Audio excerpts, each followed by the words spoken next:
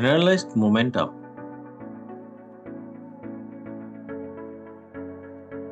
Generalized momentum.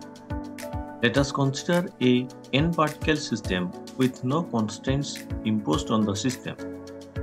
The kinetic energy T of the ith particle having mass mi and velocity vi of a system is given by T equal to half mi vi square. Now vi can be written as dxi dt. So T equal to half mi dxi dt whole square which is equal to half mi xi dot square. Say this is equation number 1. Differentiating equation 1 partially with respect to xi dot we get del t by del xi dot equal to half mi into 2 xi dot equal to mi xi dot. This is equation number 2. Linear momentum pi of the particle is given by pi equal to mi into vi. Again vi can be written as dxi by dt which implies pi equal to mi xi dot. Say this is equation number 3. Comparing equations 2 and 3 we get pi is equal to del t by del xi dot because from equation 2 we have del t by del xi dot equal to mi xi dot and from equation 3 we have pi equal to mi xi dot that is pi equal to del t by del xi dot. Say this is equation number 4. Similarly, linear momentum is associated with generalized coordinate qk called generalized momentum pk and is given by pk equal to del t by del qk dot. So this is equation number 5. First, we derive the expression for kinetic energy for a system of n particles in terms of generalized velocities qk dot. The kinetic energy of system of n particles free from constraints is T equal to summation i goes from 1 to capital N half mi pi square. Again vi is dri by dt that is ri dot.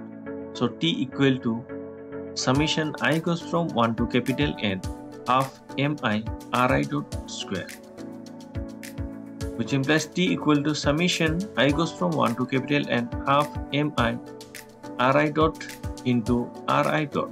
So this is equation number 6. Now Ri dot equal to summation j goes from 1 to 3n because the system is free from constraints. Del Ri by del Qj into Qj dot plus del Ri by del T.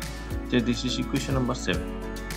Using equations 7 and 6 we get P equal to summation i goes from 1 to n half mi and in place of Ri dot from equation 7 we have summation j goes from 1 to 3n del ri by del qj into qj dot plus del ri by del t again whole into summation k goes from 1 to 3n del ri by del qk into qk dot plus del ri by del t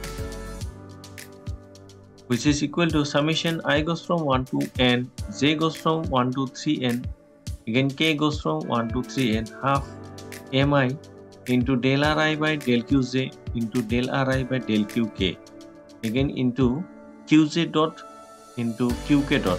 Plus the second term is summation i goes from 1 to n j goes from 1 to 3 and half mi del ri by del qj into del ri by del t into qj dot. Plus the third term is summation i goes from 1 to n summation k goes from 1 to 3 and half mi del ri by del t into del ri by del qk into qk dot. Plus summation i goes from 1 to n half mi del ri by del t whole square. Which is equal to summation i goes from 1 to n j goes from 1 to 3n again k goes from 1 to 3n into half mi del ri by del qj into del ri by del qk into qj dot into qk dot. Plus the second term is i goes from 1 to n.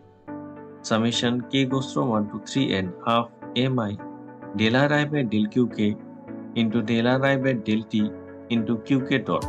Plus the third term is summation i goes from 1 to n. Summation k goes from 1 to 3 and half mi del ri by del t into del ri by del qk into qk dot. Plus summation half mi del ri by del t whole square. It means in this equation we have replaced the second term that is only the summation j is replaced by k. So in the second term in place of j goes from 1 to 3n we have written k goes from 1 to 3n which is equal to summation i goes from 1 to n j goes from 1 to 3n summation k goes from 1 to 3n half mi del ri by del qj into del ri by del qk qj dot into qk dot plus. From the second and the third term we have summation i goes from 1 to n. Summation k goes from 1 to 3n mi del ri by del qk into del ri by del t into qk dot plus summation i goes from 1 to n half mi del ri by del t whole square.